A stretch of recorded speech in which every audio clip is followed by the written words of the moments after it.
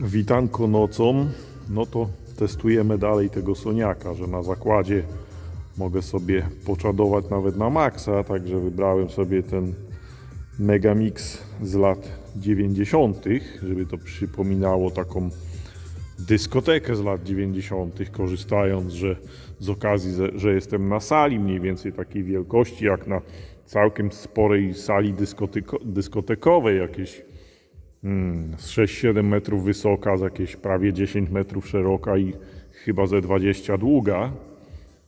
Hmm, może nie całe, no ale spora, pusta hala, także echo tu się mocno niesie. Zobaczę, czy live wyłączyłem, bo jakoś mi spodobało się słuchanie z tą dodatkową przestrzenią, ale wyłączę, bo tutaj sama hala daje potężną przestrzeń. Jeszcze zobaczę yy,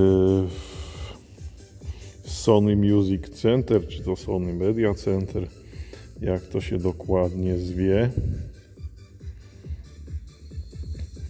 Jak ja tutaj mam mm, ustawienia. Mamy tutaj mm, opcję dźwięku.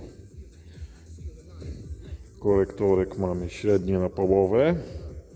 Basy, soprany na maksa. Jeszcze może pokażę jaka jest różnica, zanim się oddalę. Także średnie. Słychać wyraźnie różnicę. Wysokie. Też słychać wyraźną różnicę. No i oczywiście basy. Teraz są zdjęte. Daję na maksa. Idziemy na drugi koniec hali. Dołożę na maksa. Zobaczymy jak to się będzie niosło na tej hali.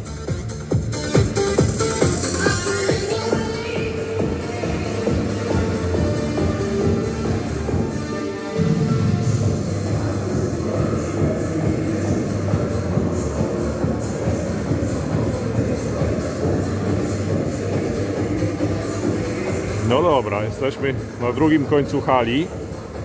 Niesie się całkiem głośno. Jakby to był bar, stałyby tu jakieś stoliki, to ludzie by się musieli przekrzykiwać. Hmm.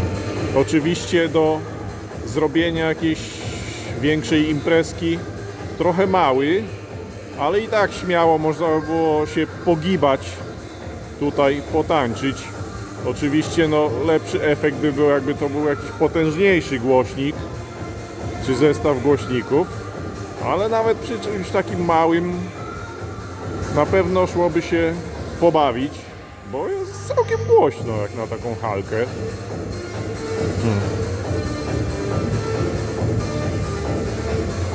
A tak wracając do Harmana, którego powiedzmy, że no tak jakby zamieniłem, bo może on basowo grał trochę mocniej, ale jakoś powalająco głośno to on też nie grał.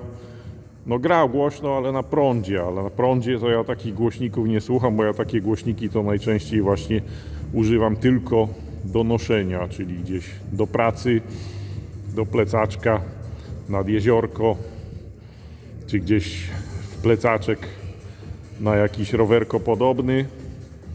Hmm.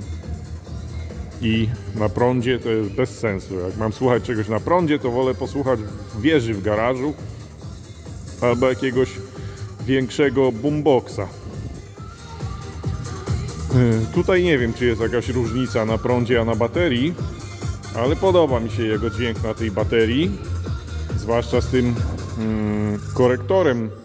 No w sumie to teraz wychodzi na to, że mam dwie korekcje, bo jedna w telefonie, a ta Motorolka, jak myślałem, że nie ma korekcji w telefonie, to też ma takie opcje dźwięku automatyczne. Nie można sobie suwakami zmieniać wszystkich parametrów, ale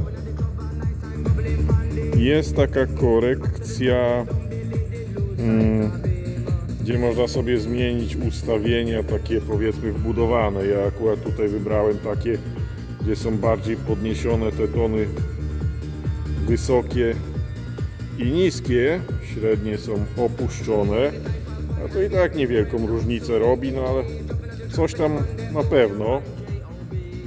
Taki jest mój wykres, czyli tak zwany uśmiech. Hmm. A pozostałe ustawienia, jakby mi w razie brakowało tych średnich, to mogę sobie dołożyć w aplikacji. Ale jakoś za zbyt dużą ilością tych średnich to ja nie przepadam. Zostawię je tak około połowy. No i z tymi wszystkimi ustawieniami ten głośniczek ma, powiedziałbym, że kopa mniej więcej takiego jak Harman.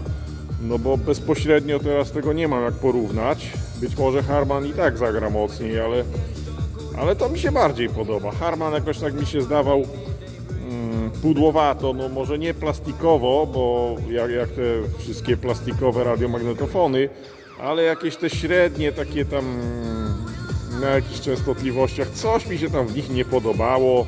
Sopranów też jakoś nie za specjalnie dużo dało się z niego wyciągnąć, bo nie miał takiej aplikacji jak tutaj, gdzie można ich sobie dołożyć jedynie z telefonu. Hmm. Także no brakowało mi tego i ten tam nawet była taka ta opcja przestrzenna, ona jakoś tak psuła ten dźwięk, strasznie skrzeczący on się robił i, i basy wyraźnie malały. A tutaj ten live wcale nie, nie psuje. On, y, basy zostają takie same, wzrasta tylko przestrzeń, nawet soprany trochę dochodzą, także ładny jest ten live tutaj. Ja praktycznie siedząc sobie w pomieszczeniu cały czas słucham z tym włączonym live'em, bo to jest naprawdę fajne w tym głośniku. No i poza tym, że mam te lepsze ustawienia korektora, czego mi brakowało w Harmanie, to ten głośnik jest sporo lżejszy. Podobno ma o wiele lepszą baterię, nie wiem, to dopiero będę testował, dopiero się przekonam o tym, no ale z parametrów wynika, że ta bateria tutaj jest o wiele lepsza niż w Harmanie. No i rozmiar i waga, bo jest ponad pół kilo też lżejszy od Harmana, także fajna sprawa, tym bardziej, że ponad dwa razy tańszy jest od Harmana. Mm, w cenie aktualnej Harman jest około no, 1500-1600 zolek, a, a to można wyhaczyć za nieco ponad 600. No ja tam dałem akurat 600 yy, 70 czy coś takiego. Zresztą tam na poprzednim filmie nawet chyba na Paragonie widać. Teraz chyba nawet dy, dychę staniał ten głośnik u tego samego sprzedawcy.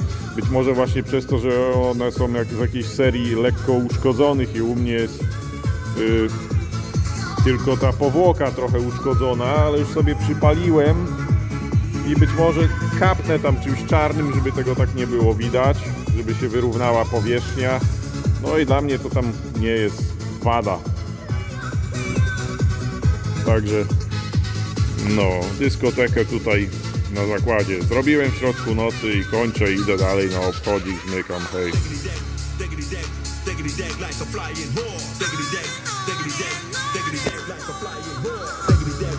Diggity dag, diggity dag like a flying whore. Diggity dag, diggity dag, diggity dag like a flying whore.